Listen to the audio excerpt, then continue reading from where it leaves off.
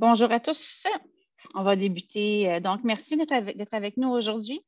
La Maison de développement durable vous souhaite la bienvenue à son premier événement d'une série de quatre conférences sur la rénovation responsable.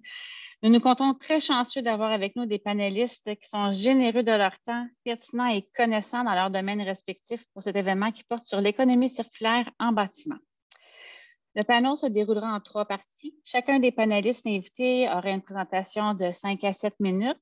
Nous aurons droit à un portrait du secteur euh, CRD, construction, rénovation et déconstruction, à des notions de théorie d'économie circulaire, une mise en contexte des gens de l'industrie de la rénovation qui veulent bien faire. Et nous apprendrons sur des projets en cours ainsi que des solutions. Je vous rappelle que l'événement est enregistré et que tout sera disponible sur notre chaîne euh, YouTube euh, au cours euh, des prochains jours. Suite à la présentation de nos invités, nous enchaînerons par la suite avec une discussion table ronde, moment auquel vous pourrez poser vos questions et nous vous invitons à le faire par le biais de la section questions et réponses au bas de votre écran. On tient à remercier nos précieux partenaires par qui cet événement, la série, est rendu disponible. Hydro-Québec, qui est le partenaire principal de notre programmation, et la Ville de Montréal. Alors, on se lance. Je vais céder la parole à Nicolas, Nicolas Belrose, excusez-moi, agent de recherche et de planification à Recyc Québec, et qui va nous dresser le portrait du secteur euh, de la construction, rénovation et déconstruction. À toi, Nicolas. Merci, euh, Marie-Ève. Alors, bonjour, bonjour à tous. Euh, oui, moi, je vais vous faire une petite mise en contexte euh, des euh, différentes matières résiduelles qui peuvent, qui peuvent exister dans le, dans le secteur. Donc, je vais vous partager ceci quand on fait différents travaux, peu importe euh, leur ampleur, finalement, il y a toujours des matières résiduelles qui sont, euh, générées dans ces, euh, dans ces différents travaux-là. C'est sûr que le but, comme on va en discuter aujourd'hui, ce serait de réutiliser dans un esprit circulaire ces matériaux-là. Mais malheureusement, on a un peu de chemin à faire sur, cette situation-là. Donc, c'est le, portrait de situation actuelle que je veux vous faire ce midi. Donc, euh, quelques acronymes aussi, si vous m'entendez parler ou peut-être plus tard, durant les échanges, vous allez entendre de quelques acronymes. Alors, je vous les présente rapidement. quand on va parler de GMR, on va parler de gestion de matières résiduelles. Les CRD, on peut parler aussi de construction, rénovation, démolition ou déconstruction, tout dépendant de, ce qu'on veut utiliser comme, euh, comme terme. Vous allez m'entendre parler aussi de LET, qui sont des lieux d'enfouissement technique, nos bons vieux sites d'enfouissement qui existent un peu partout euh, dans la province. Et vous allez m'entendre aussi parler de ICI, qui est l'acronyme qui veut désigner les industries, commerces et institutions qui sont donc euh, soit des usines, un centre commercial, une tour à bureau, par exemple, un hôpital ou une école. Donc, c'est des exemples de, catégories d'immeubles euh, qu'on désigne euh, par cet acronyme-là.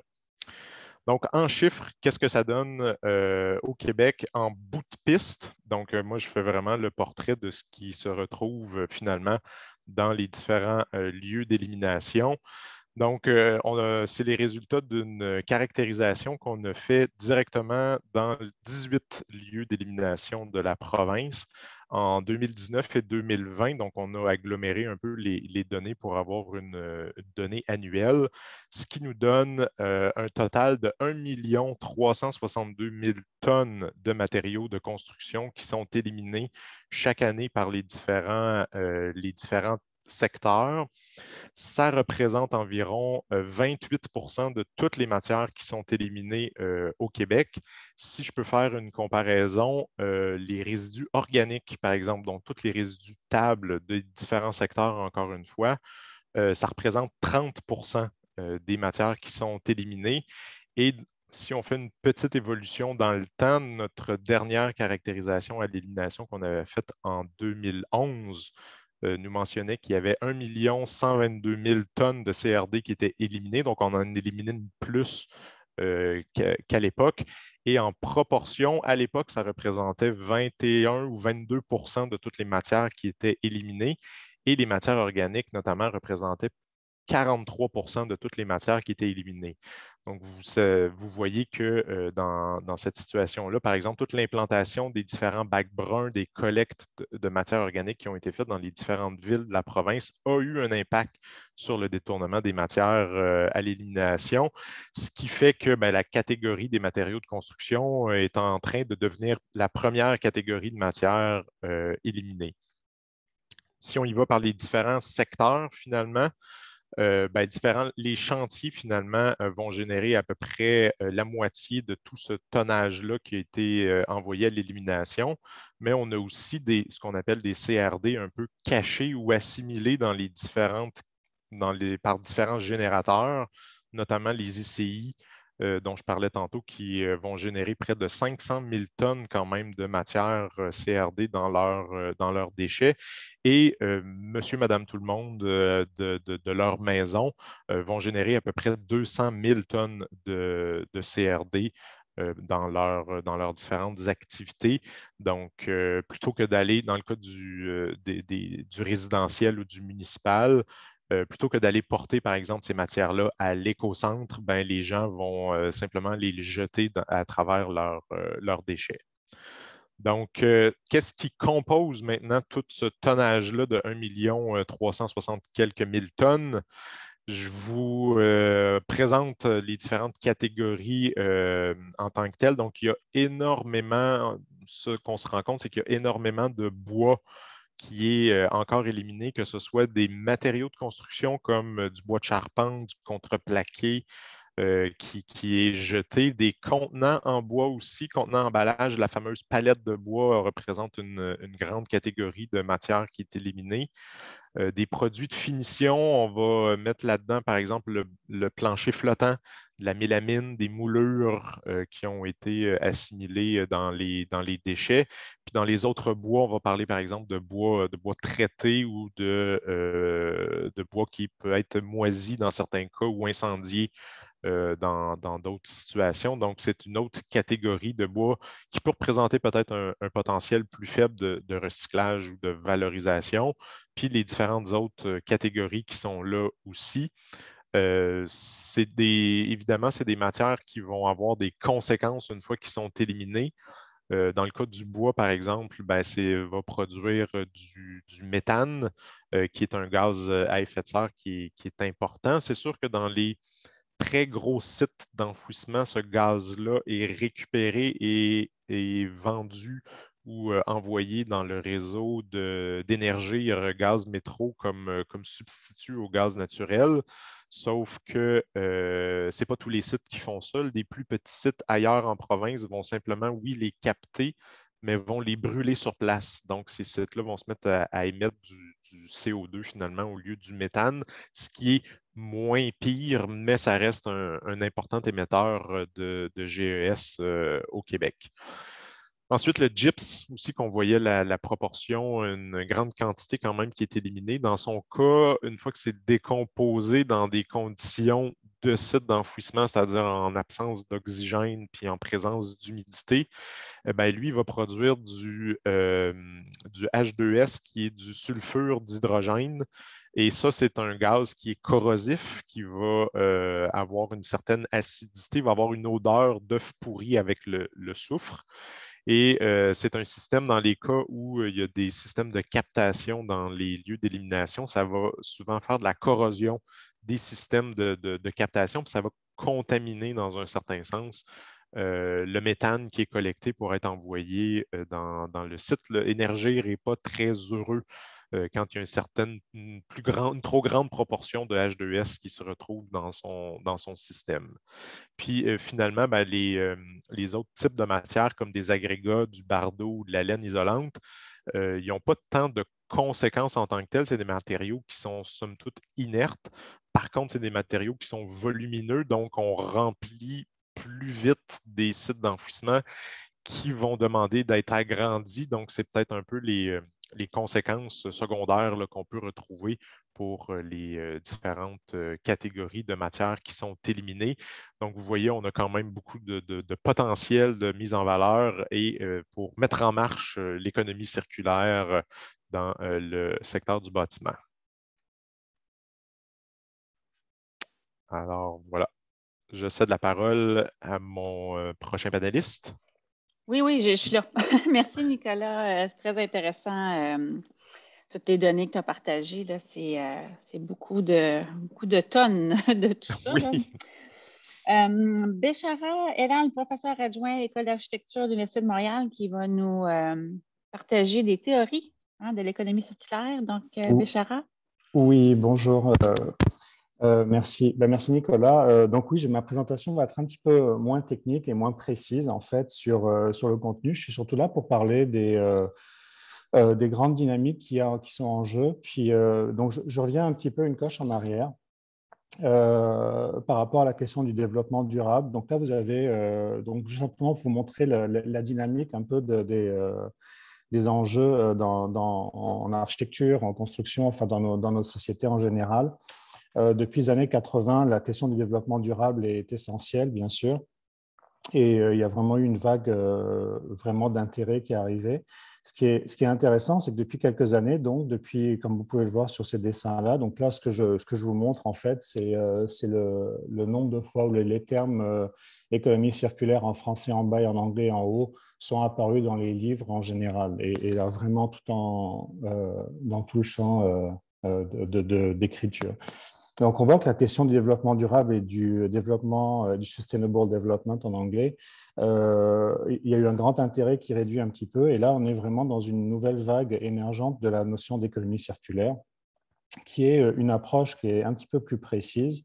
Donc, plutôt que de couvrir les, grands piliers qu'on retrouve en général dans le développement durable, euh, on va se concentrer sur des questions qui sont beaucoup plus euh, locales, beaucoup plus euh, pragmatiques. vous avez probablement vu passer, enfin si vous ne l'avez pas vu, ça, vient tout juste de sortir, donc la revue de esquisse de l'OAQ qui vient tout juste de, paraître, qui est, vraiment axée sur cette question d'architecture circulaire. Donc on est vraiment dans, dans, l'ère du temps, c'est vraiment une approche qui est beaucoup plus pragmatique. Et, l'idée, c'est quelque part, je ne lirai pas tout sur les diapos, mais c'est simplement pour vous placer dans le contexte. Euh, l'économie circulaire revient euh, sur cette notion de, cycle de vie, en fait. Donc, on construit, on démolit, et, donc la gestion de l'énergie, des matériaux, etc.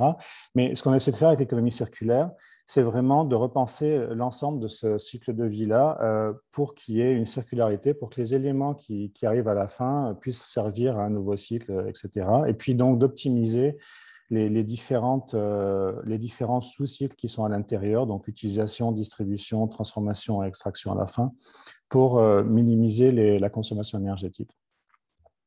Euh, dans ce contexte-là, donc depuis septembre 2020, il y a donc le CERIEC a été fondé à l'ETS, donc le Centre d'études et de recherche intersectorielle en économie circulaire, qui veut vraiment qui, est un, groupe de réflexion, en fait, un groupe de, travail euh, qui veut développer donc euh, de la recherche, de l'enseignement, euh, de du rayonnement et mettre en valeur des questions d'économie circulaire pour qu'il y ait des véritables retombées pour tous les acteurs de la société, les gouvernements, la société civile, les acteurs économiques, comme vous pouvez le voir. Et donc, l'idée vraiment, c'est de, plutôt que d'en parler simplement, de dire ça existe, ben, on veut vraiment que cette économie circulaire-là euh, de, apparaisse de façon pragmatique dans les façons de faire. Alors, euh, dans les activités du CERIEC, et c'est là que moi j'apparais vraiment, euh, le CERIEC a mis sur place, sur pied, pardon, le Lab Construction, qui est une réflexion globale de plusieurs acteurs sur l'économie circulaire dans la construction. Et, donc, c'est un effort qui se fait, donc démontré par des projets d'expérimentation innovants et co-créés avec les parties prenantes, comment intégrer puis généraliser des stratégies d'économie circulaire dans le secteur de la construction au Québec. Donc, on est vraiment au Québec, on est vraiment, euh, euh, c'est co-créé, c'est travail, euh, un travail qui se fait avec plusieurs intervenants, et puis tout fonctionne sur des projets d'expérimentation. Donc, on va essayer de tester à travers des bah, des, projets euh, réels, euh, les limites euh, et les possibilités de l'économie circulaire. donc, bien sûr, l'économie circulaire est au centre du lab. il y a un travail de co-création par plusieurs intervenants, l'innovation. Il y a une dimension terrain qui est très importante, comme je disais. Et puis, les retombées sont ensuite, l'idée, c'est que les retombées soient partagées par tous les acteurs. Ça, c'est essentiel. Alors, il y a plusieurs acteurs. Il y a des donneurs d'ouvrages il y a des, chercheurs, moi je suis chercheur à l'école d'architecture, donc, euh, mais il y a aussi des, des, fournisseurs de matériaux, il y a des, des clients, des, voilà, donc plusieurs, plusieurs participants. Et puis les activités du lab ont commencé il y a déjà un an, depuis début 2021, où on a donc, comme vous pouvez le voir ici, plus de 150 participants qui travaillent et 80 organisations qui travaillent sur les différentes questions. Alors, les différentes questions, c'est ça, c'est que euh, le, lab, construction, ce n'est pas un projet, en fait, c'est 16 projets, on appelle ça des solutions, et puis il faut savoir dans quelle solution on est. Moi, j'interviens vraiment dans la solution numéro 6 qui est ici, concevoir en vue de la déconstruction. Euh, et, donc, ces, différents projets vont chacun euh, attaquer euh, une approche particulière de la question de l'économie circulaire. Donc, est-ce que ce sont les matériaux? Est-ce que c'est la question du réemploi? Est-ce que c'est la standardisation des matériaux. Donc, plusieurs, euh, plusieurs questions sont posées, en fait. Et puis, euh, celle que je, dont je vais vous parler dans, dans le temps qui me reste, c'est celle qui est vraiment sur la question des bâtiments adaptables et démontables. C'est sur ce dossier-là que je travaille. Donc, depuis euh, quelques mois, on a fini par finaliser donc un, un, document de cadrage qui nous permet de, de, réfléchir de façon efficace sur ces questions. Donc, je, bâtiments adaptables et démontables. Donc, il y a vraiment une relation entre les deux principe de conception et feuille de route pour l'industrie de la construction au Québec. Donc, ce qu'on veut faire dans ce, dans ce travail-là, euh, c'est premièrement déjà cartographier le domaine, donc comprendre ce qui se fait euh, dans, dans la littérature scientifique. C'est notre approche de chercheur, en fait, de, de, comprendre un peu de quoi on parle, et puis de construire un cadre conceptuel pour expliciter les principes, les variables et les contextes d'application qu'on peut avoir. Donc, euh, on parle de, bâtiments adaptables, mais je vais en parler un petit peu tout à l'heure, vous allez voir, il y, a, quand même des nuances qui sont importantes à comprendre dès le début. Et à partir de là, euh, donc, euh, l'idée, c'est de, déterminer, donc, là, ce n'est pas écrit dans les objectifs, mais c'est un des, de la méthode qu'on va utiliser. Donc, c'est de travailler avec, sur des, des projets expérimentaux pour pouvoir euh, voir jusqu'à quel point on peut euh, développer ce cadre conceptuel pour en faire un outil opératoire d'évaluation et euh, de transformation du domaine. Et puis une fois que ce document-là sera, cet outil d'évaluation sera testé à travers ces projets expérimentaux, l'idée c'est de préparer une feuille de route qui pourra être distribuée à l'ensemble de l'industrie de la construction, aux donneurs d'ouvrages publics, etc. Et ça, c'est prévu pour fin 2023. Donc on est à quelques mois du début du projet et d'ici un an et demi, on devrait pouvoir euh, formuler des recommandations. Et en fait, tout cet exercice-là, c'est vraiment pour identifier euh, ce qui fait avancer l'économie circulaire et le renforcer, et puis ce qui retient l'économie circulaire, les freins, en fait, et essayer de les éliminer. Euh, donc, sur la question des, rapidement, des, donc les quelques grandes théories des bâtiments adaptables, tout vient finalement de cette lecture qui, qui est basé sur euh, finalement les, différents, euh, les différents euh, intervenants, les différentes parties prenantes dans un projet de construction, qui peuvent aller vraiment de, du, du, résident, quand on parle d'un bâtiment, d'une comment dire, ben, résidentiel ou non résidentiel, mais en tout cas quelqu'un qui occupe un espace, qui va avoir une certaine durée d'intérêt par rapport au bâtiment, jusqu'à la société civile, comme vous voyez ici, euh, qui va avoir un intérêt par rapport à un bâtiment, ce qui va aller beaucoup plus loin. On parle de plus de 100 ans, en fait. Donc, un bâtiment n'existe pas simplement pour un locataire, mais il existe pour une société à très long terme. Donc, il y a des temporalités très différentes.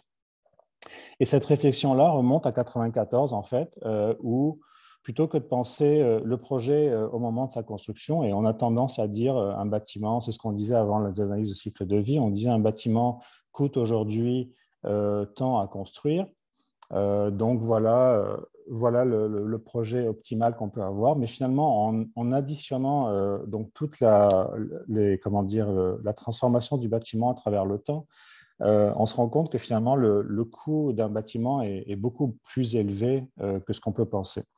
Et, la réflexion, donc, on monte à Stuart Brown en 1994 qui disait, bah, plutôt que de penser un bâtiment comme un seul ensemble, si on le considérait comme une série de couches en fait qui sont reliées. Il a, donc fait distinction avec les 6 S, euh, le site, la structure, la peau, skin en anglais, les services, euh, le plan, space plan, et puis stuff, donc les choses à l'intérieur. Et vous voyez qu'il y a vraiment un travail donc, euh, qui se fait de façon comme un jeu de coquilles, en fait. Et à partir de ça, ben, la réflexion s'est faite en disant, ben, plutôt que de considérer ces différentes couches-là comme des couches qui sont nécessairement liées entre elles, est-ce qu'on peut les considérer comme des éléments qui ont des durées de vie différentes? Euh, la structure va avoir une durée de vie qui est beaucoup plus longue. Euh, les choses à l'intérieur, ce qu'on appelle le stuff, c'est quelque chose qui change très très vite en fonction des locataires. Et donc peut-être qu'en les séparant, en faisant une bonne distinction, on est capable de commencer à avoir une intervention qui est un peu plus intelligente. En fait. Et on arrive à ce diagramme-là, donc 2012, qui est en fait un résumé de tout ce que je viens de vous dire, où euh, on voit bien que le site a une durée de vie extrêmement longue, bien sûr. On parle de, dans ce cas-là, euh, euh, c'est une échelle logarithmique, pardon, mais on parle donc d'un site est très, très, enfin, très long dans le temps, bien sûr. et puis, il y a des éléments qui vont être moins longs. Donc, la, structure qui peut tenir jusqu'à 200 ans, peut-être, la peau qui va avoir une durée de vie de 80 ans, l'espace à l'intérieur, donc les murs, etc., qui va avoir une durée de vie peut-être de 30 ans, euh, les choses aussi à peu près là, puis les services, donc les, fonctions, euh, le programme qui lui peut changer au bout de 10 ans. Et, donc du coup, euh, c'est ce diagramme-là finalement qui vient régir en fait cette approche de développement de bâtiments adaptables dans le temps. Donc avant de démolir, avant de déconstruire, on commence déjà à penser à comment adapter. Et on arrive à cette idée-là, donc euh, dans un article de Arch Daily sorti il y a quelques années, euh, où on disait euh, une nouvelle idée en architecture, et si on n'avait pas de nouveaux bâtiments, donc finalement, est-ce qu'on pourrait considérer que les bâtiments existants sont suffisants pour, pour réintégrer des nouvelles fonctions, des nouvelles choses? Donc, est-ce que les bâtiments déjà existants peuvent répondre à ces questions? Ça, ce n'est pas évident. Et est-ce qu'on peut déjà penser aujourd'hui, avec des nouveaux bâtiments, à prévoir des utilisations qui vont changer dans le temps et donc de commencer à réfléchir euh, en considérant ces différentes couches. Alors, il y a eu des réflexions là-dessus qui ont déjà été faites. Nous, on a commencé à cartographier le domaine euh, et de voir les, théories finalement qui, euh, qui, ont existé. Il y a déjà des réflexions qui, sont apparues déjà dès 2005, donc une architecture basée sur le temps, dans deux livres que vous voyez ici de, de Bernard Le Pen, qui, essaie d'imaginer finalement comment construire une architecture qui est euh, non pas fixe au moment où on a une, euh, demande d'un client, mais quelque chose qui va pouvoir changer dans le temps, sachant qu'une fonction peut être totalement différente 10-15 ans plus tard ou 20 ans plus tard, et on ne veut pas nécessairement démolir le bâtiment pour le transformer en autre chose. Et donc ces questions-là, si elles sont intégrées dès le début, ben on a vraiment beaucoup moins d'efforts à faire ensuite pour les rattraper. Euh, dans nos réflexions sur... Euh, donc, on est vraiment dans, un, dans le travail sur le cadre conceptuel pour le moment. Et ce qui est vraiment intéressant, c'est que finalement, quand on arrive à, tout replacer dans une espèce de, logique, en fait, euh, j'ai envie de dire, sans utiliser des mots compliqués, mais donc en fait, on essaie de comprendre quelles sont les nuances, en fait. Voilà, plutôt que de dire adaptable et déconstruisible, on essaie de comprendre qu'est-ce que adaptable veut dire. Et adaptable, ben, c'est pas être adapté en fonction de, différentes, euh, de, différentes, euh, de différents changements. Donc, une différence euh, d'espace, on parle d'espace versatile, on parle aussi de, changement de performance, on a besoin d'avoir un bâtiment plus performant. donc, quelle stratégie utiliser pour qu'on y à ça On peut avoir un bâtiment dont la fonction va changer, donc un bâtiment qui va devenir convertible.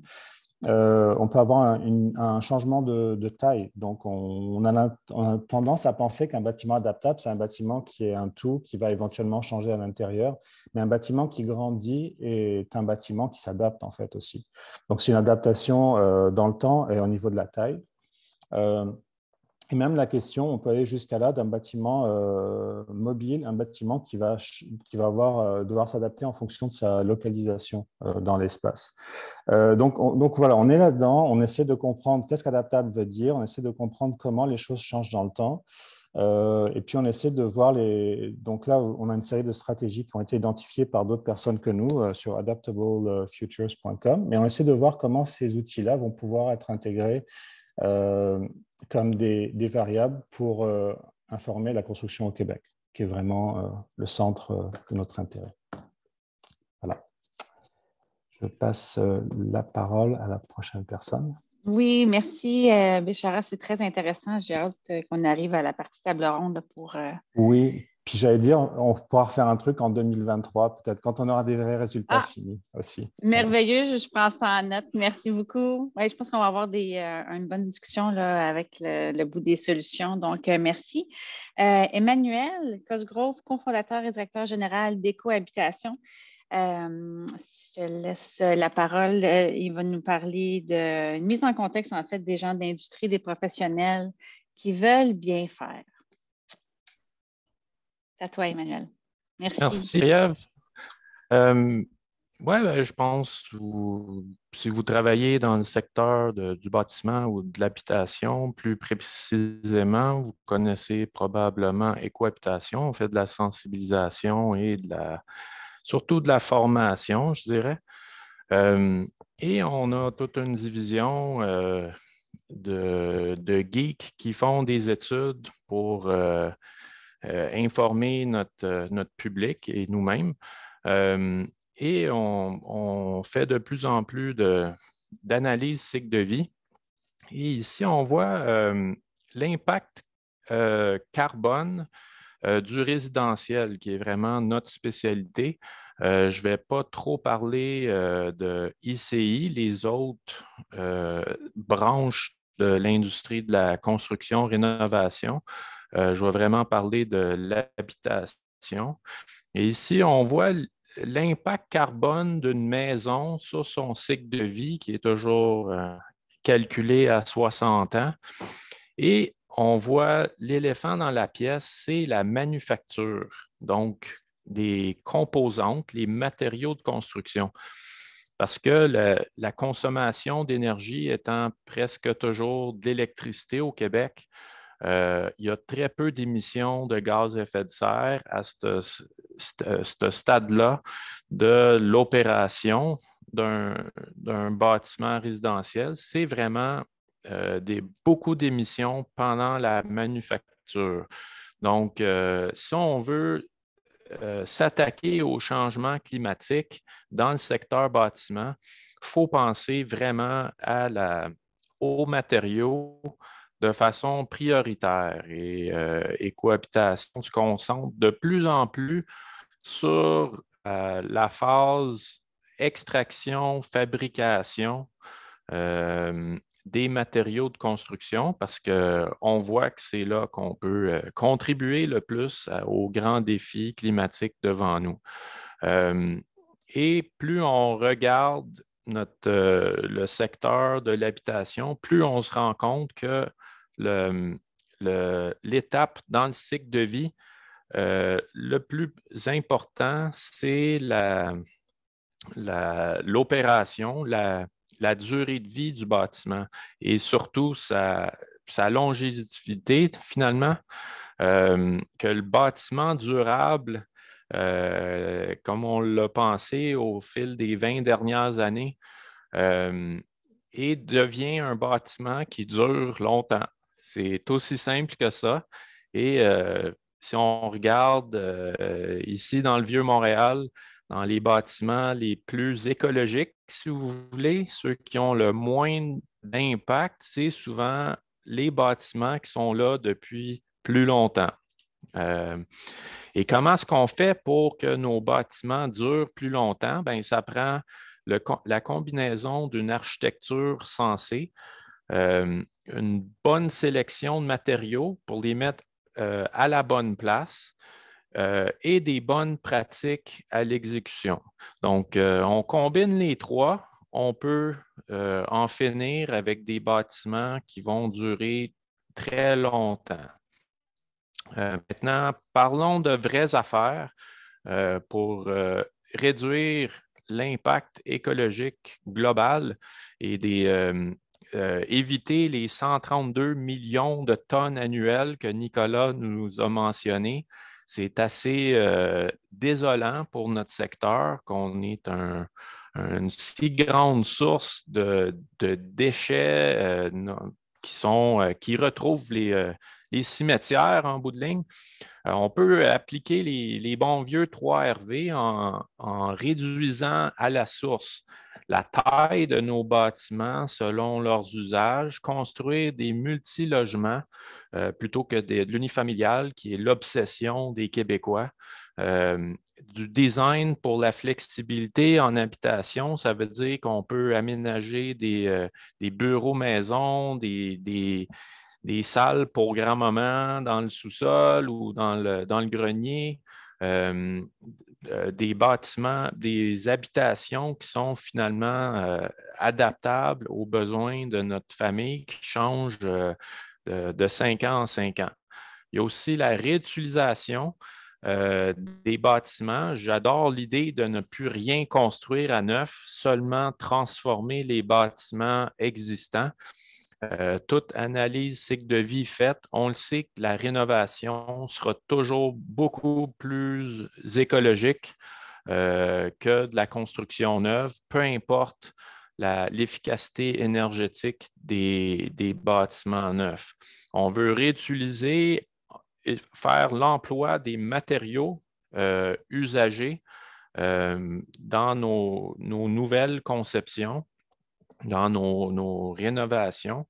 En, bout de ligne, on veut aussi recycler, même si ce n'est pas si intéressant, euh, ces matières résiduelles, euh, intégrer des matériaux recyclés dans nos, euh, dans nos rénovations, nos constructions neuves et en tout dernier recours, valoriser et ne pas jamais envoyer au site d'enfouissement. On veut fermer la boucle et voilà l'essence de l'économie circulaire. La réalité en habitation présentement, c'est qu'en gros, une maison ressemble à ça après à peu près 70 ans. On construit euh, pour euh, euh, toffer un bout, puis après ça, ben, la pépine débarque et on, démolit le tout sans trop y Donc, euh, comment éviter cette réalité-là euh, pour éviter tout le tonnage qu'on a vu?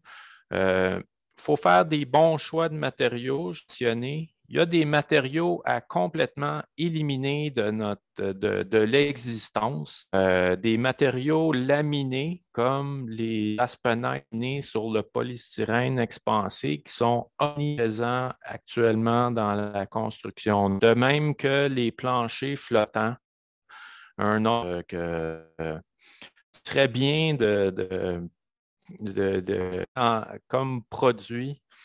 Euh, en tant que ça.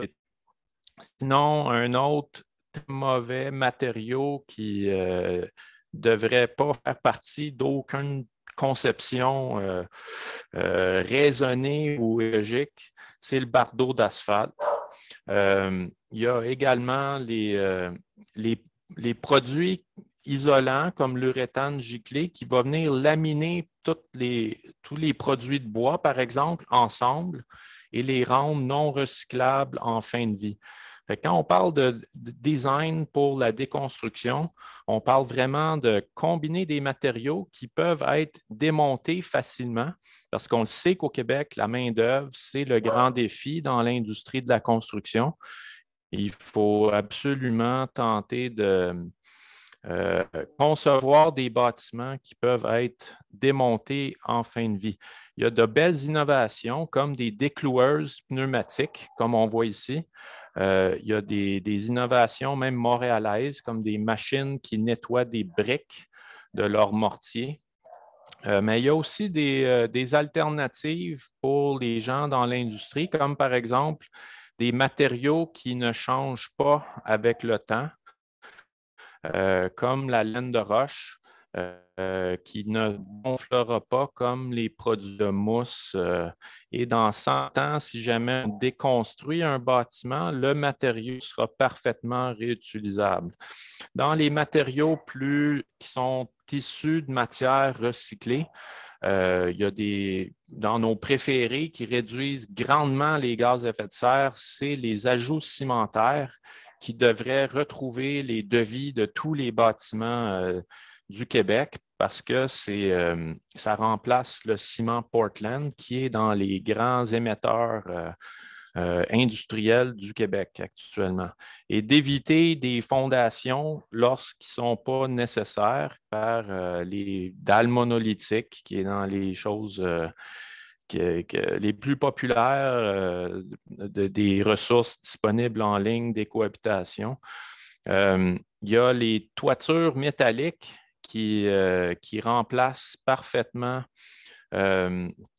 le bardeau d'asphalte qui est si désastreux sur le plan des matériaux.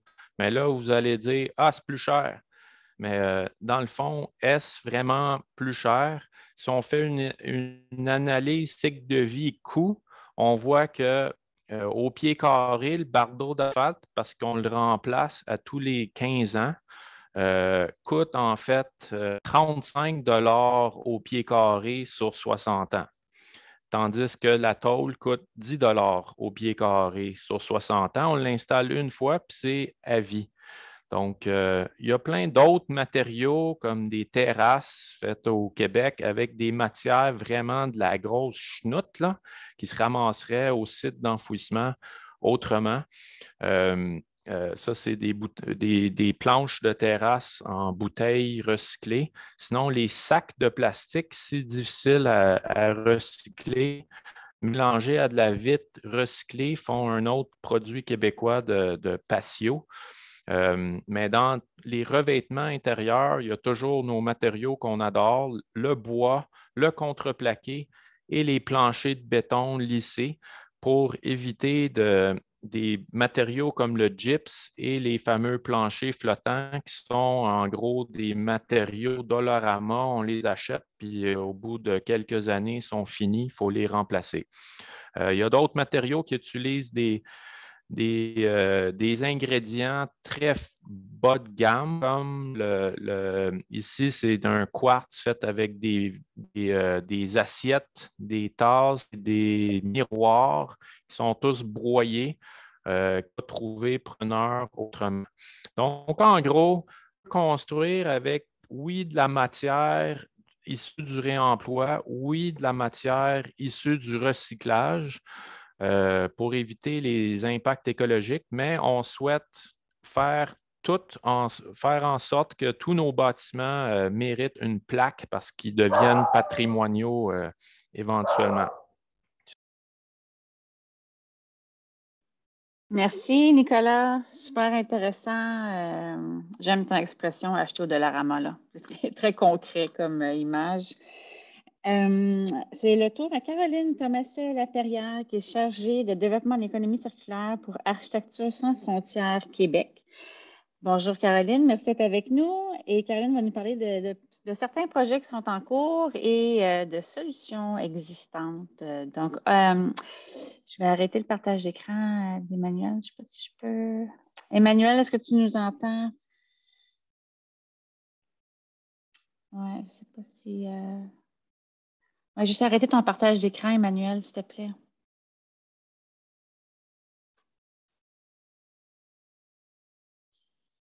All right, merci. Bonjour, bonjour à tous. Euh, donc, euh, je vais vous présenter euh, le projet Matériaux sans frontières, qui est donc une initiative d'architecture sans frontières Québec. là, au niveau du partage, je, je ne vois pas l'accès au partage. Une petite minute, je vais regarder ça.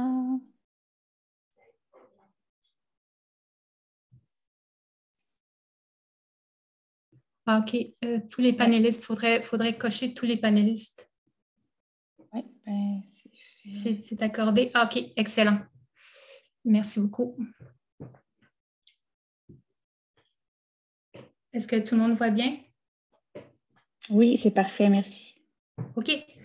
Alors, euh, sans plus tarder, je voudrais vous présenter, donc, euh, comme euh, les autres intervenants vous en ont parlé, la notion, la solution du réemploi est clairement dans le milieu de l'architecture une option qu'il faut davantage explorer puis exploiter ici au Québec.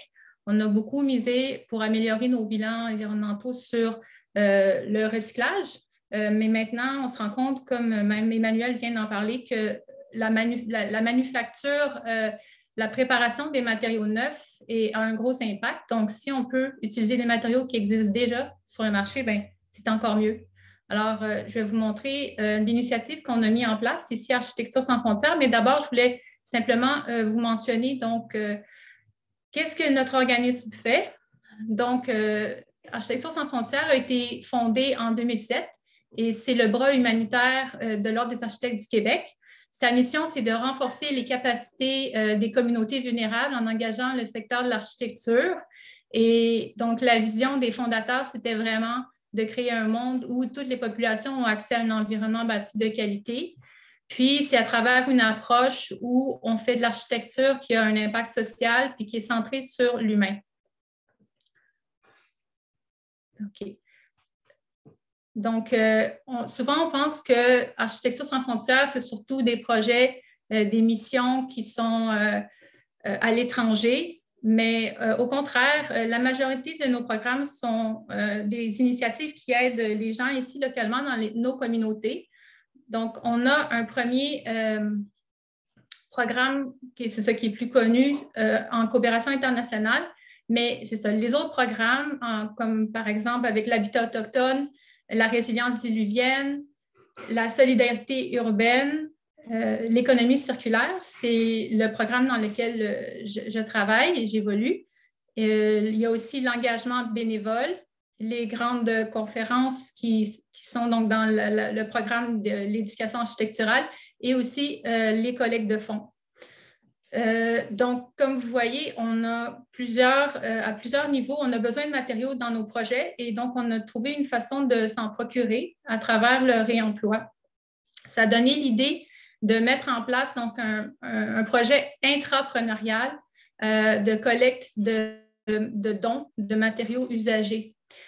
Pour revenir un petit peu sur ce que Nicolas a dit en début de programme, on voit que en construction, il y a plusieurs façons d'envisager euh, le cycle des matériaux. Au départ, on, a des ressources que l'on exploite sur la planète qu'on va euh, manufacturer euh, en usine pour créer des matériaux de construction qui vont éventuellement être démolis et rejetés vers les sites d'enfouissement. on va avoir des initiatives vers le recyclage de certaines composantes. Donc, créer des matériaux à contenu recyclé, par exemple, et puis euh, les réintroduire sur le marché, mais on va quand même produire euh, des déchets, comme on a pu constater avec les chiffres de Nicolas Belrose. Euh, par contre, si au-delà de la boucle du recyclage, on va plus vers des boucles de réemploi, à ce moment-là, au lieu de démolir, on va déconstruire ou démanteler un bâtiment pour récupérer les composantes, ce qui va créer des, des résidus ultimes, mais on va essayer d'aller vers le recyclage des composantes qu'on ne peut pas réemployer et réinjecter euh, dans le cycle du bâtiment. Donc, nous, c'est sur cette boucle-là qu'on a décidé de se concentrer dans une vision plus holistique. Et bon, euh, pour réemployer des matériaux de construction, évidemment, il faut trouver les gisements. Les gisements, ils sont autour de nous. Tantôt, on parlait euh, du jargon des ICI, donc euh, les bâtiments institutionnels, euh, commerciaux et industriels sont des grandes sources de, gisements quand ils sont appelés à être déconstruits. On a aussi les bâtiments de ferme, donc les bâtiments agricoles, qui sont aussi des sources importantes, de, des gisements importants. Et puis, on a aussi donc les bâtiments résidentiel, lors de rénovation, évolution, on peut aller chercher donc des matériaux à ce niveau-là. Au niveau des composantes, comme vous voyez, euh, on a une multitude de composantes et de matériaux qui peuvent être réemployés lors d'une déconstruction sélective. Euh, comme on a vu tout à l'heure, la décloueuse, c'est donc un, des outils qu'on peut utiliser. La déconstruction, c'est pas la construction. Ça nécessite de la formation, ça nécessite donc une autre façon de travailler. Et c'est sûr, comme Béchara l'a mentionné plus tôt, si au niveau de la conception en amont, on a pensé à des structures plus facilement démontables par euh, des vis, par exemple, des boulons, ben, ça va rendre le travail de démontage beaucoup plus facile. Donc, c'est sûr que c'est plus efficace quand on y a pensé au départ. J'aimerais porter votre attention aussi sur le fait que euh, quand on veut s'engager dans la déconstruction, euh, ça nécessite donc beaucoup de communication à travers tous les corps de métier sur un chantier. Et entre autres, ça nécessite de solliciter les gens en charge du démantèlement dès le départ. Euh, comme vous voyez dans le tableau ci-joint, dans en bas complètement, dans une démolition standard, on va, on va contacter le démolisseur seulement une fois que les plans d'architecture sont terminés, puis qu'on est rendu à préparer le chantier. Alors que dans un processus de déconstruction, on va aller solliciter euh, les démolisseurs beaucoup plus tôt euh, pour évaluer quelle structure on garde, quelle structure on doit démanteler. Et puis, c'est un travail qui va engager tous les ingénieurs, les architectes, tous les corps de métier pour faire en sorte euh, d'optimiser les processus, en fait. Donc, c'est pour ça que c'est important euh, d'en prendre conscience très tôt. Donc, euh, maintenant, si on passe au vif du sujet, le projet Matériaux sans frontières, ben, c'est donc Architecture sans frontières qui a, vu dans ce modèle d'affaires-là un modèle d'économie sociale solidaire et circulaire avec des retombées écologiques importantes, puis c'est un modèle qui existe déjà aux États-Unis depuis 30 ans qui a été analysé par euh, notre directeur, euh, M. Bruno Demers. Et c'est là qu'on a eu l'idée de démarrer un programme de récupération, de redistribution et de revente des matériaux, que ce soit des matériaux usagés ou des matériaux neufs, puisque des fois, les manufacturiers vont avoir des surplus ou des, fins de ligne. Et sur les chantiers aussi, des fois, il y a des erreurs de commande, il y a des surplus d'inventaire sur le chantier. Au lieu de les jeter au container, nous, on peut les reprendre et les réinvestir, les, rediriger euh, vers des chantiers, soit pour notre mission, nos projets, soit les revendre pour que les, revenus de cette revente puissent financer nos projets. Donc, je vais vous montrer euh, comment euh, c'est pertinent pour ASFQ. C'est que pour nous, ça devient un levier de ressources et de financement pour nos programmes. Puis au niveau de la responsabilité sociale des entreprises, euh, ben, à l'interne, ça donne l'exemple. Euh, on représente, on est le bras droit, euh, le bras droit, le bras humanitaire donc de l'Ordre des architectes du Québec. Donc, c'est important de prêcher par l'exemple. Puis aussi de montrer qu'on peut diversifier notre impact local et social, non seulement par nos activités, nos missions, nos projets, mais aussi par notre approvisionnement responsable. Donc, le modèle, comment il fonctionne, c'est que au départ, euh, un propriétaire va nous donner des matériaux et euh, l'entrepreneur, souvent c'est l'entrepreneur qui va venir nous les acheminer chez euh, EcoReno, qui est notre partenaire de, revente.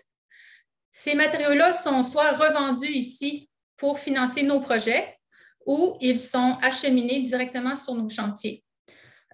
pour le, propriétaire, ce qui est intéressant, c'est que nous, on va émettre un reçu de charité qui va pouvoir euh, entrer en ligne de compte dans euh, sa comptabilité pour peut-être rentabiliser euh, les travaux qu'il vient d'effectuer ou du moins réduire ses charges au niveau de l'enfouissement. On va aussi procéder de la même façon avec les manufacturiers qui auraient des surplus d'inventaire. Ils vont nous fournir les matériaux neufs. On va donc les acheminer à nos points de distribution, soit qu'on les revend, soit qu'on va les utiliser directement dans nos missions professionnelles. Donc, ce système-là, ben, l'incitatif du, reçu de charité va, être, euh, je crois, un petit peu le, catalyseur pour pousser les gens à changer leurs, changer leurs habitudes sur les chantiers, puis à découvrir que ce qu'ils considèrent comme des déchets, ben, c'est un gaspillage énorme de ressources qui, qui, peuvent être réutilisées. Donc, pour nous, on voit vraiment ça comme une opportunité à saisir pour régler le problème de la gestion des matières résiduelles dans l'industrie de la construction. Et puis aussi, c'est que ça génère des bénéfices euh, importants au, niveau des trois axes du développement durable. Donc, au niveau économique, on crée des emplois locaux, on crée aussi euh, de la valeur, euh, autrement dit, on, augmente le pouvoir d'achat de, des gens localement en, en, ayant un marché abordable. Vous savez, on vient hier, pas plus tard que hier, on parlait l'augmentation du prix du bois et de l'aluminium dans les chantiers de construction qui, créent des problèmes, bien, si on se, va s'approvisionner du côté des matériaux usagés, ben, on peut peut-être réduire cette inflation galopante et baisser aussi donc, les coûts d'enfouissement, comme j'ai mentionné. On, permet de déverrouiller le marché de la déconstruction, puis une meilleure gestion du risque au niveau des bris d'approvisionnement, comme on a vécu pendant le début de la première vague de la pandémie, où on avait de la misère à s'approvisionner parce qu'il y avait des ruptures dans les chaînes d'approvisionnement. Au niveau de l'environnement, ben, c'est clair que en, réutilisant les composantes des chantiers de démolition, on va diminuer euh, proportionnellement la nécessité d'aller extraire des ressources premières. Et puis, au niveau de la gestion des matières résiduelles, ben, on, va, on va vraiment utiliser euh, les trois RV dans le bon sens euh, et prioriser le réemploi avant le recyclage et la valorisation. Donc, on va se trouver à, créer une triple atténuation des GES en, évitant d'extraire, de, fabriquer, de transporter de la nouvelle marchandise et de l'enfouir. Puis au niveau social, c'est sûr que nos programmes euh, essaient autant que possible de faire de la réinsertion sociale pour justement balancer pour euh, le nombre de, main-d'œuvre qui est nécessaire pour déconstruire est plus important que pour démolir. Mais grâce à la réinsertion sociale, on peut, par ces programmes financés, réussir à, à être concurrentiel sur le marché et développer une culture du réemploi grâce à la formation, à la sensibilisation, puis, bien sûr, euh, contribuer à la conservation du patrimoine euh, qui va pouvoir euh, prolonger sa durée de vie dans une autre maison, dans un autre contexte. Donc, on est bien content de pouvoir contribuer à, tous ces niveaux. Donc, pour terminer, je vais juste vous glisser un mot sur notre partenaire de distribution qui est EcoReno. On a fait l'acquisition d'EcoReno en 2020 et puis ça va ça nous permet d'avoir un pignon sur rue pour notre euh, programme Matériaux sans frontières. Puis l'objectif, en ce moment, on est à peu près à 3000 pieds carrés. L'objectif, c'est de tripler notre surface de plancher d'ici l'automne prochain. Et euh, on est activement à la recherche d'un local euh, commercial pour nos activités. Alors, je passe le mot. Si jamais vous avez un espace à nous proposer, ben, n'hésitez pas à me contacter. Le message est passé. Euh, puis éventuellement, c'est sûr que ce qu'on voudrait développer, c'est réellement euh, des espaces inspirants comme ça qui permettent d'avoir accès à de la marchandise usagée, mais de façon systématique avec un inventaire informatisé qui permet aux professionnels de la construction de pouvoir compter sur des informations fiables et sur euh, des volumes d'approvisionnement aussi intéressants. Alors voilà, je vous remercie pour votre attention et je repasse la parole à Marie-Ève. Oui, merci Caroline. Euh, euh, on vous écoute depuis le début de la conférence. Euh, il semble y avoir quand même un bon nombre de solutions puis plusieurs pratiques possibles qu'on peut mettre en place. puis il y a quand même plusieurs questions dans le chat. une surtout qui rejoint celle que j'avais, puis je vais peut-être vous la lire. La recherche avance beaucoup depuis les dernières années. Allez, la question ici. Oui, c'est ça. La recherche est bien développée depuis les 15 dernières années sur le sujet. Qu'est-ce qui bloque la mise en œuvre de ces connaissances et comment accélérer le processus? Moi, ce que j'avais écrit dans mes questions, c'est en bon français, on va-tu être capable de s'en sortir? Qu'est-ce qu'il faut faire pour que les choses changent? Euh, c'est la question pour ouvrir la période de discussion. Je ne sais pas qui, veut se lancer dans une tentative de réponse à cette question philosophique de comment on fait pour y arriver si je peux euh, peut-être commencer, euh, il y a, euh, faut dire que le, je dirais le secteur de la construction en général est un secteur qui peut être un peu conservateur dans un certain sens où je pense qu'il y a certaines pratiques qui sont mises en place depuis longtemps. Puis là, de découdre un peu ces pratiques-là, ce n'est pas quelque chose qui va se faire malheureusement du jour au lendemain. Euh, je pense qu'on aura, mais on a la chance, je pense, d'agir maintenant, peut-être justement comme euh, euh, Bécharol mentionnait, de, concevoir aujourd'hui des bâtiments qui pourront être adaptés, qui pourront être déconstruits plus facilement pour être, convertis dans, le futur et qui généreront moins de, de matières résiduelles. Malheureusement, aujourd'hui, on a à travailler dans un certain sens avec des, bâtiments qui n'ont pas non plus été conçus nécessairement pour être, être déconstruits. Donc, ça demande un défi supplémentaire quand c'était construit dans les années 40, 50, 60, 70. c'était pas, pas toujours pas évident de déconstruire, défaire ce qui a été fait à l'époque. Merci. Caroline, tu voulais rajouter quelque chose? Oui, ce que je voulais dire, c'est par rapport aux outils qui sont à notre disposition aujourd'hui. Euh, c'est sûr que euh,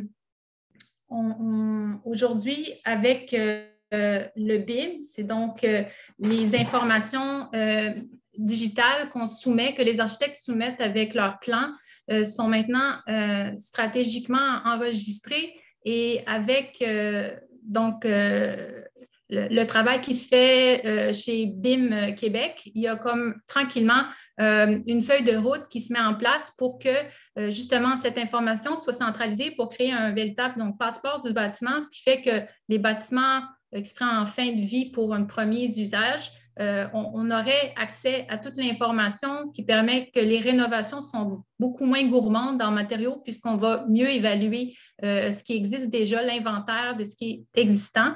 Et, donc, j'ai confiance que euh, le, partage des données du bâtiment va vraiment débloquer le, le réemploi puis une meilleure utilisation des ressources dans le milieu du bâtiment. Merci, Emmanuel.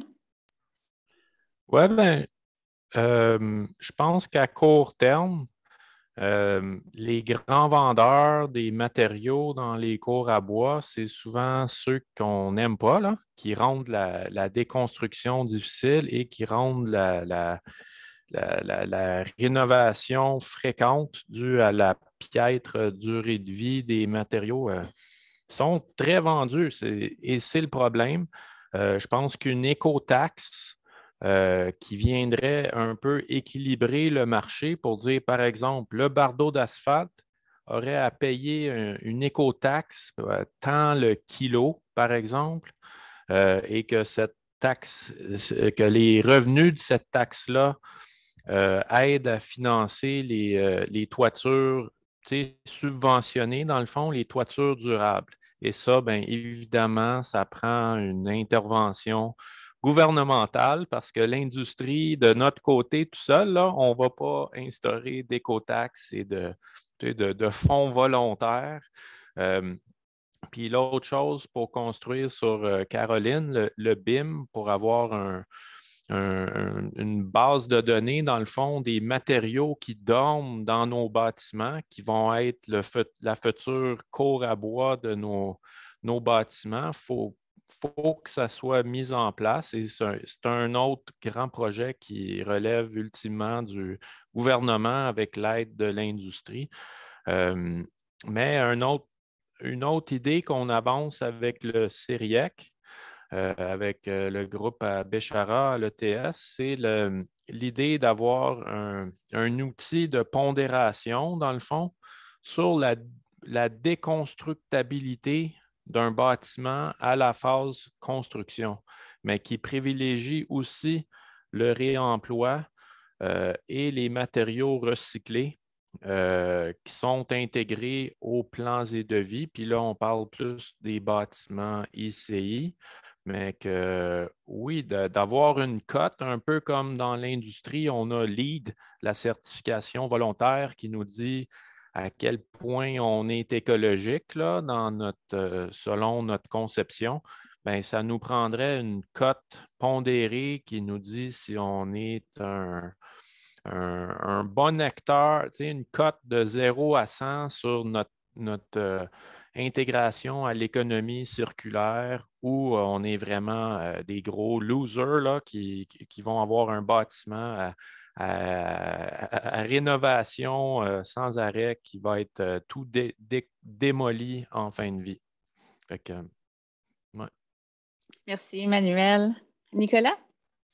Oui, je vais peut-être reprendre sur euh, ce que Emmanuel disait sur les, les, écotaxes. On, préfère, nous, le, terme éco-frais pour justement pour un montant qui est perçu sous un principe de responsabilité élargie des producteurs qu'on voit dans d'autres types de, produits, notamment les produits électroniques, par exemple. je sais que c'est des choses qui ont été étudiées par le ministère de l'Environnement, notamment sur le gyps, sur les bardeaux revêtements de toiture.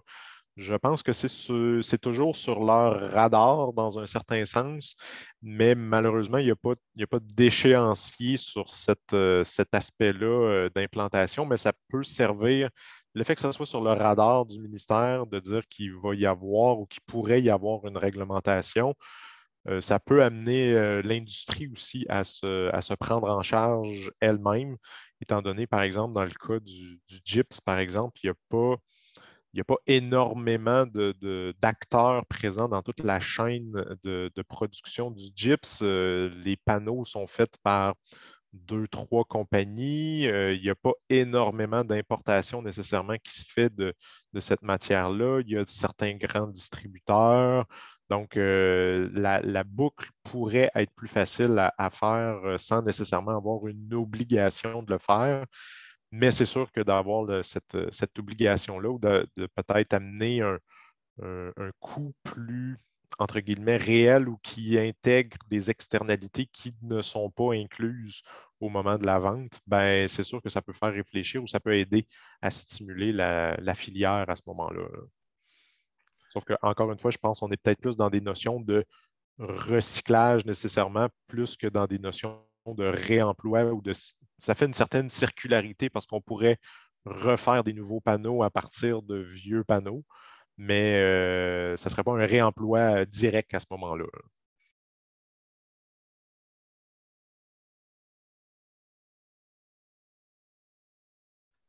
Je suis en mute, désolé. Super intéressant. Désolée. Euh, je remarque là, il y a déjà une heure et quatre, mais on va juste, on a comme quand même plusieurs questions, mais je vais juste en prendre une dernière. Euh, malheureusement, ça a passé vite, c'est tellement intéressant. Euh, ici, une, une question. Est-ce qu'il est vrai que la réglementation québécoise est encore très restrictive pour l'utilisation des matériaux recyclés dans la construction, que nous serions en retard à ce sujet par rapport à l'Europe? Euh, je, vais, porter le, chapeau du gouvernement un peu pour, euh, pour, euh, pour ça. Effectivement, par rapport à d'autres juridictions ailleurs, notamment en Europe, je pense que c'est des choses qu'on veut, qu'on veut regarder ou qu'on veut chercher à, implanter. On a effectivement un, certain retard à ce moment-ci. je pense qu'au niveau actuel, il y a des choses qui sont en place pour notamment euh, faciliter ou stimuler l'achat de produits à contenu recyclé, mais malheureusement, semble-t-il que dans la réglementation, c'est les produits neufs à contenu recyclé. Donc, il y aurait peut-être une, subtilité, si je peux dire, euh, par rapport à ça, qui effectivement limite un peu dans des ouvrages peut-être gouvernementaux euh, la notion de, réemploi finalement, d'utiliser des matériaux réemployés. Euh, mais dans, je dirais, il y a, toujours moyen d'en réutiliser une certaine partie euh, aussi, notamment sur des enveloppes de bâtiments euh, ou sur des structures en tant que telles qui peuvent être conservées pour, pour, refaire un projet. mais effectivement, il y a des améliorations à faire au niveau de la, réglementation pour, pour, stimuler tout ça. Oui, ben, il y a, il y a des secteurs comme l'agrégat où on a des montagnes énormes d'agrégats euh, usagés qui ne trouvent pas preneur parce qu'on n'a pas normalisé, il n'y a pas de normes sur la qualité de cet agrégat-là. Donc, euh, oui, il y a beaucoup de travail un peu euh, qui n'a rien à voir avec la matière elle-même. C'est strictement une, une histoire de responsabilité professionnelle, par exemple, pour des ingénieurs structures qui ne peuvent pas spécifier de l'agrégat euh, issu du recyclage du vieux béton parce qu'il n'y a pas de normes qui peuvent citer pour euh, la qualité de cet agrégat-là. Donc, euh, oui, il y a beaucoup de chemin à faire et ça se fait couramment partout aux États-Unis. Et il euh, faut absolument qu'on débloque les grandes filières où il y a des normes, l'absence de normes finalement mm-hmm. qui nous empêchent de, de, décharger ces, stocks-là qui ne font que s'empiler. Merci. Bécharat, tu voulais ajouter quelque chose?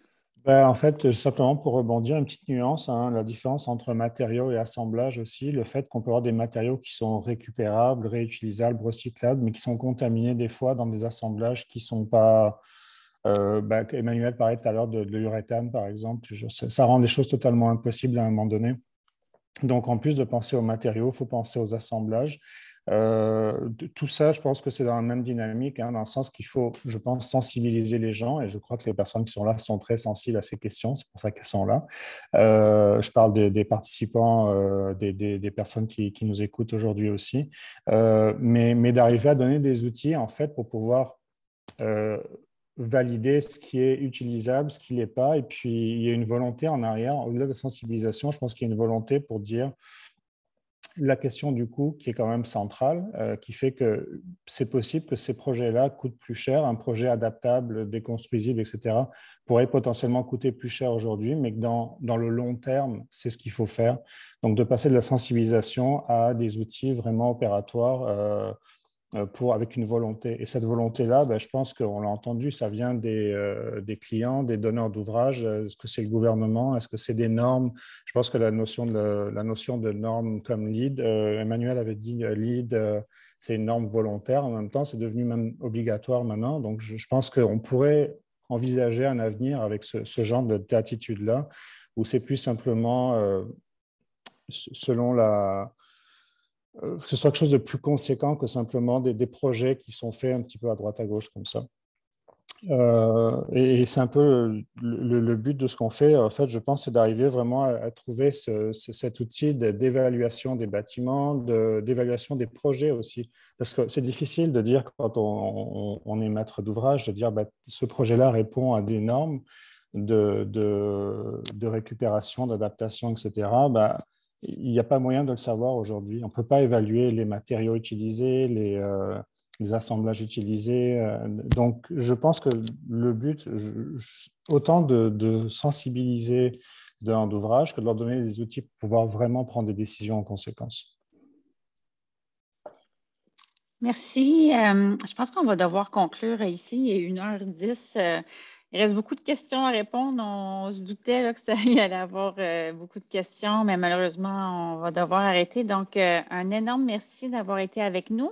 On a eu plus de 100 participants aujourd'hui et merci à vous, nos panélistes, euh, pour votre temps. Je sais que les horaires sont chargés pour la préparation et tout ça. C'est vraiment apprécié. Donc, au nom des participants et de la Maison du développement durable, merci d'avoir été avec nous. Euh, dans le cadre de notre série, on a des prochains événements qui s'en viennent euh, euh, au cours des prochaines semaines. Je vais partager mon écran. Donc, merci d'avoir été des nôtres. le 26 avril prochain, on va avoir une conférence sur l'autonomie alimentaire. Le 10 mai, l'économie d'énergie. Et le 24 mai, sur la maison autonome. Euh, donc, suite euh, à la conférence d'aujourd'hui, on va envoyer un petit courriel avec les informations qui ont été partagées, euh, les liens et puis les présentations, ainsi qu'un sondage. Donc, merci de prendre quelques minutes pour le répondre. C'est toujours pertinent pour nous d'avoir votre feedback. Et puis, comme j'ai dit au début, la rencontre a été enregistrée et sera disponible sur notre chaîne YouTube au cours des prochains jours. Et euh, je vous invite à suivre les réseaux sociaux de la Maison de développement durable pour, être, euh, pour rester informé de ce qui se passe. On a plusieurs séries sur lesquelles on va annoncer bientôt. Donc, euh, peut-être qu'on se recroisera sur une autre série. Donc, merci d'avoir été avec nous et je vous souhaite une belle fin de journée à tous. Merci. Au revoir. Merci, bonne journée. Bonne journée. Au revoir.